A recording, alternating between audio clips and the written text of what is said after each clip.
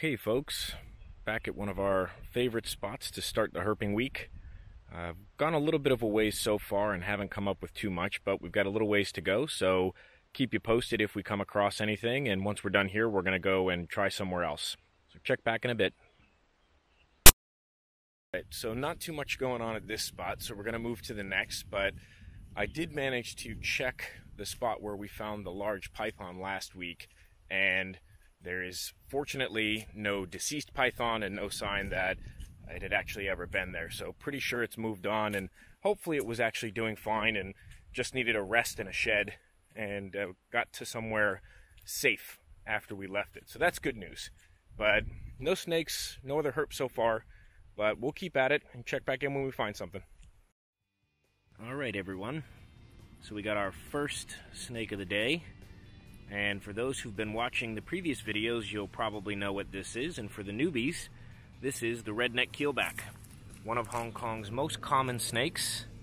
It is, as I've mentioned before, a rear-fanged venomous snake. So technically actually quite dangerous from a venom toxicity standpoint. Practically speaking, they're not very prone to bite. And even if they do, they have to get their rear fangs in and then they don't have typical venomous snake venom glands that are surrounded by muscle, which can squeeze and inject the venom. It actually kind of drains a little bit more like a duct um, down through grooved teeth and into the wound. So they have to chew you for quite a while. Uh, and the other unique feature about these snakes, again, as mentioned before, is the fact that they can actually secrete poison from a gland on their neck. And the gland is right around where the red and the olive green head meet and overlapping both. And if you look closely, and if we can get it in focus, um, you can actually see there's a, a groove on the back of the neck. And that's actually where the glands are located, and they'll burst, and you'll see a milky white substance come out. And that's actually a poison that they'll sequester from the toads they eat. So, quite an interesting snake, actually. And again, quite common in Hong Kong. So, I think uh, not too surprising that of all the snakes we find today, this is on the list. And it's a warm day today, which is great, but we're coming up against a cold snap tonight. So not sure how the rest of the week's going to go. So it's a pretty good thing that we found this guy. Um, I'm going to let him slither off, but good find to start the day. You can see now he's doing his defensive uh, posture where they flatten out their neck like a cobra and raise their head off the ground. Uh, it's actually pretty cool threat display, but again, not much bark to the bite, or not much bite to the bark, sorry. So we'll go ahead and let this one go and keep on moving and see what else we find. Check back in in a bit. Redneck keelback number two.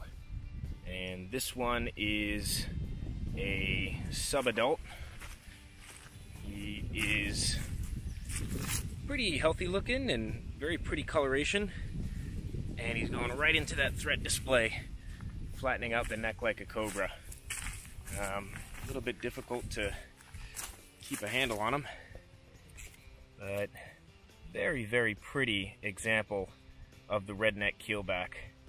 And great that we found a second one already. This is pretty quick after the first one, so Probably going to be a redneck keelbacky kind of day. If we're lucky, we'll find some more.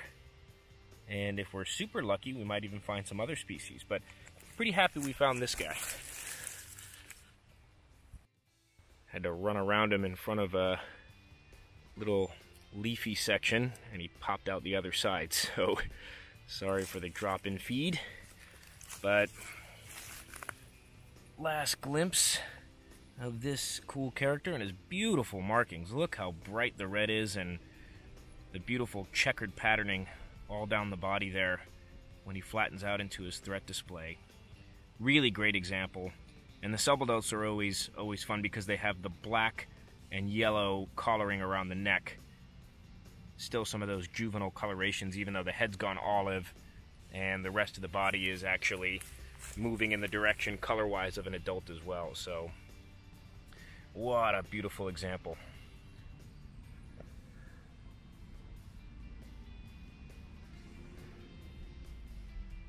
All right. off to find the next one. Third redneck keelback of the day. This is also a subadub leaning much closer to adult now, and I'm not going to film him too long. He's going to make a break for it, so let's uh, just see him off, but kind of cool. Third one of the day. There he goes. No other species yet, but that's still pretty good, I think, for mid to late November. Let's keep going. We still got a ways to walk. Maybe some more in our future. Check back in a sec. All right, folks, getting to the end of the walk now. I think uh, this will be where we end up today. We have a shot at some other snakes for the next few hundred meters, but then we're pretty much at the end. So I did manage to come across this which based on where we are, where I found it, and the scale count on the head, general shape and length, I would say we're probably looking at the shed of a common wolf snake. I can uh, give a link to that species from our website, HongKongSnakeID.com, and you can check it out for yourselves. I'll chuck a photo in here as well. But won't count it as a snake, but still pretty good sign that they're still out and about I think, like I said, we're going to get a cold snap tomorrow, so not sure how the rest of the week is going to go, but for today, not bad. Uh, three snakes and a shed. So we'll we'll hop back on if we find anything else before the end of the walk. Otherwise, we will check back in with you on the next run. Okay, everyone, we're doing a night walk, trying to get ahead of this cold snap that's coming through, but it's already starting to chill down tonight. So not sure we're going to come across much, but we're going to give it a shot. And I think if it gets really cold by the end of the walk, it may be the last chance for the next few days to find something. So who knows? The week may end here, or we could have a good night. So we'll check back in either way to either close out or update if we find something. Okay, everyone. We have our first snake of the night, and we're pretty far along on the walk, so I'm not sure how many more we'll get, but this is the bamboo or white-lipped pit viper. And in this case, we're looking at a female. You can tell because they're actually missing the characteristic white stripe on the upper lip that is only found in males. And she's in ambush mode right now. She's just up on this ledge here and waiting for a gecko to come running by so that she can snatch it up and then slither back into the brush. So these are actually one of Hong Kong's more hardy snake species, and I find them all the way deep into winter, sometimes on very cold and windy nights, and it's actually pretty cool and windy tonight too. So of all the snakes to find, this one's not a shocker. Um, uh, but I am actually happy we found anything. Uh, there was no guarantees of that. So you can see how cool they look in ambush mode. And here, because of how she's set up, I can get a pretty good angle on her, and I'm hoping that it's uh, focusing okay for you guys. But really, really fun find. Hopefully we'll get maybe one or two more, but we can circle around and take a look at her from a couple different angles before we head out. So this is what it would look like to an unsuspecting gecko right before they get taken out. And then as you can see there, she's just up on that ledge, ready to do her thing.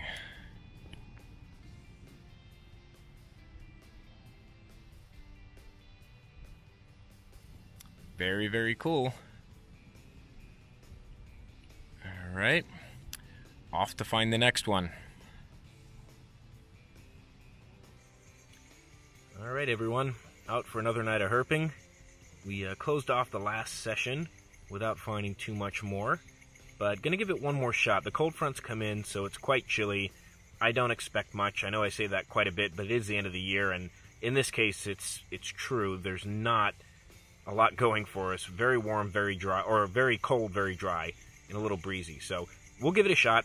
Uh, see if we can't come up with one more before the end of the week. And if not, we'll close it out. But I thought I'd start with an opener on this very cool katydid. I'll depend on our audience for species identification again. But um, they're pretty cool, good size, and you might be able to hear some of them making some noises around us. Oh, there he goes. All right, back to it check back in if we find something. All right, folks. Very early pickup. Here we have a common wolf snake, Lycodon capucinus. And as the name indicates, it is one of the more common species to encounter in Hong Kong, though I think this is its feature on the vlog. So, super fast start. This isn't normally a stretch where I find too much, but good sign for what we may be able to find tonight. I did find a shed of one of these guys earlier today as I was doing a hike with my son. So they may be active right now, despite the cold weather. And you can see here, they're a pretty diminutive little snake. Um, they're non-venomous. Here's a size reference. Um, they're non-venomous, but they do like to bite, and they do like to musk. And I got a little bit of both just now. so um, we're not going to mess with them too much. This is end of season. I want um, I want these snakes to be able to get their nutrients. You can see he's having a little bit of a fit. But yeah, really interesting snakes. Um, this one is, I'd say, about maybe 15 to 18 inches long max, uh, which is a, a, pretty good size for the species. They don't get much bigger than this. I have seen some that are meaningfully bigger bigger than this, but this is about as big as they go. And yeah, great start to the night. You can see a little defensive behavior. They do rattle their tails in the leaves sometimes, like a lot of snake species do. And yeah, they've got maroon colored bodies with light yellow to sometimes bright yellow markings all down the body. In this case, it's pretty heavily mottled. Sometimes they have a bit more of a pattern. But great species for us to start the night. All right, now I'm optimistic we might uh, we might do okay. Check back in when we find the next one.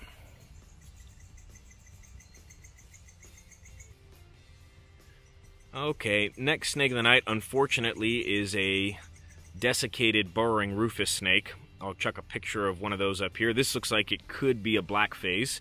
I've only got yellow phase on uh, good photos, so it would be interesting to find a black phase. But this is a relatively common snake, but not seen that much because it's uh, a semi-fossorial, subfossorial snake, which means it spends a lot of its time underground.